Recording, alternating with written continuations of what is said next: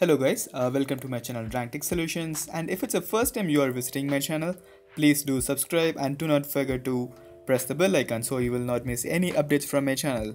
And in this video, I'm gonna explain you about the complete Citrix logon process for XenApp or XenDesktop 7.x. The main reason for me to create this video is, you know, for end users, it's just they just access the uh, Citrix uh, storefront URL, they submit the credentials, they get the icon, they click on it, they launch the application they want, boom. That's all. That's all they have to know.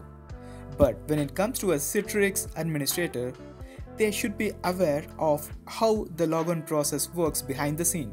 So only then, whenever there is any issues comes uh, for the users, you know, they're not able to launch applications or they get some error message, only if you know the logon process, you can figure out where the issue supposed to be.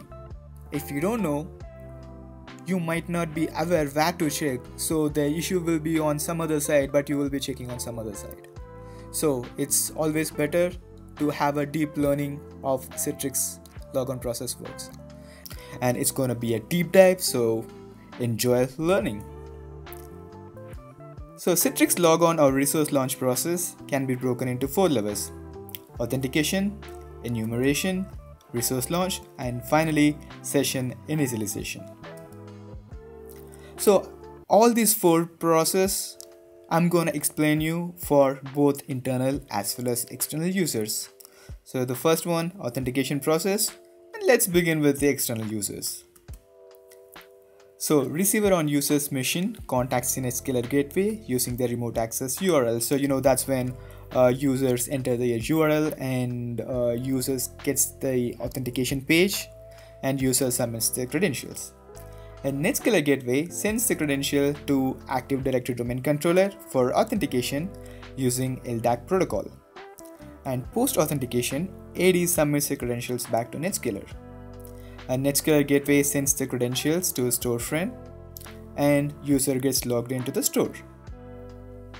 So the external users authentication process over here and let's start with the internal users. So users uh, as usual uh, enter the URL uh, and then they submit their credentials and storefront contacts the Active Directory to authenticate the user through Kerberos. And there is one more level of authentication. I mean, it's it's a type of authentication uh, only for internal users, and that is called delegated user authentication. So in this authentication, uh, as usual, uh, receiver on user's machine contacts the storefront directly through HTTP or HTTPS, and user gets the authentication page. They submit their credentials, but this time storefront passes the credentials to delivery controller and delivery controller authenticates the user with the domain controller using Kerberos. So after authentication, delivery controller sends the success response to storefront and user is logged into the store. And authentication process is over here. Let's move to the enumeration process. So this is where user uh, get to see their uh, all the applications, desktops that they have access to. So let's start with the external users. Uh, so storefront passes the user credentials to delivery controller. So I mean it's not only for external user, it's for both. So storefront passes the user credentials to delivery controller. And delivery controller performs a LDAP query to domain controller to determine user's SID and the AD group membership. So after getting the user's account information, delivery controller contacts the site database. That's a typo there, it's not site database, it's a site database on SQL Server to determine what delivery group resources are available for the user. And after identifying the same, information about the name uh, and the icons are gathered and delivery controller returns those information to storefront and uh, if the next internal user, storefront relays their apps and desktop information directly to a Citrix receiver on end user's machine. But if it's an external user, then storefront relays apps and desktop information to Netscaler gateway. And Netscaler Gateway proxies the storefront web page and delivers it to the end user.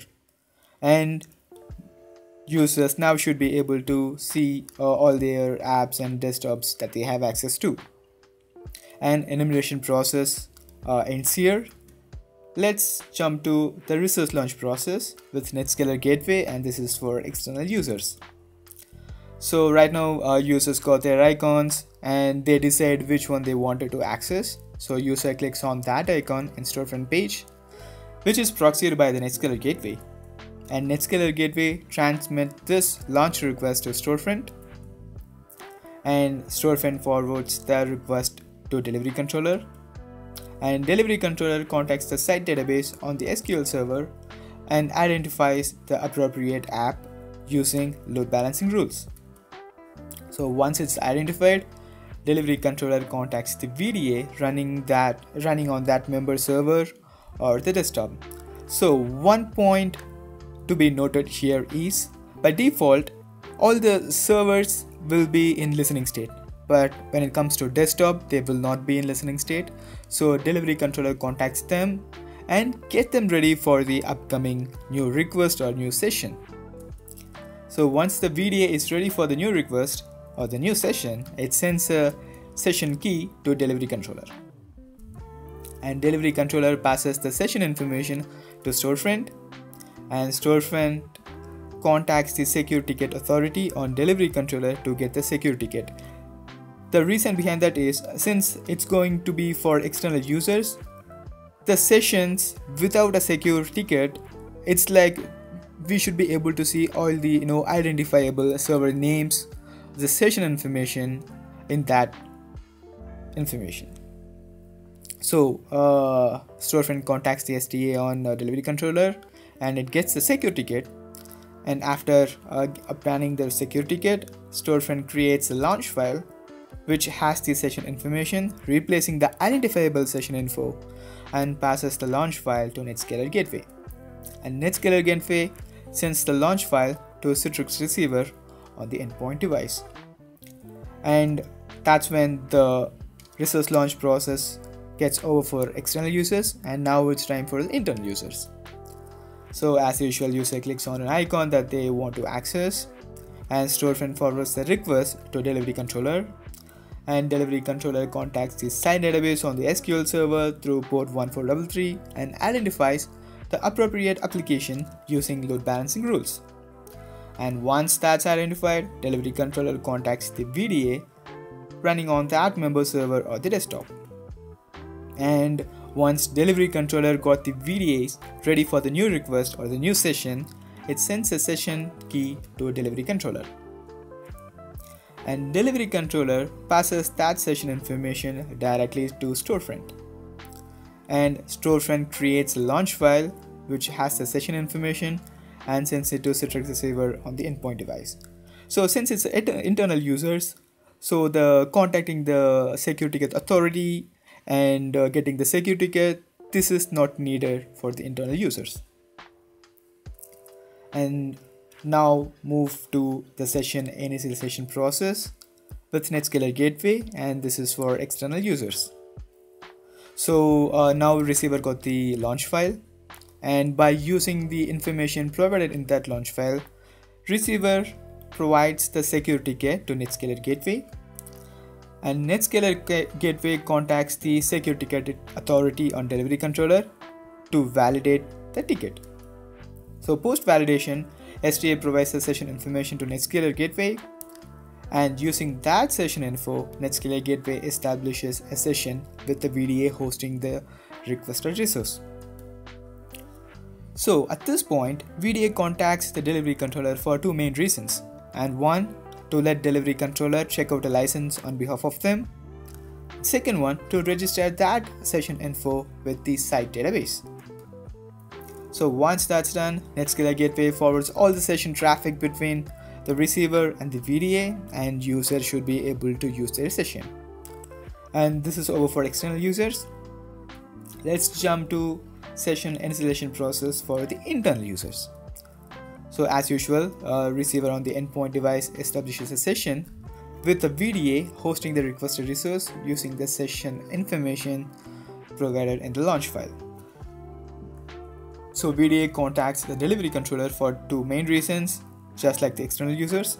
So to let the delivery controller check off the license for them, behalf of them, and to register the session information with the site database.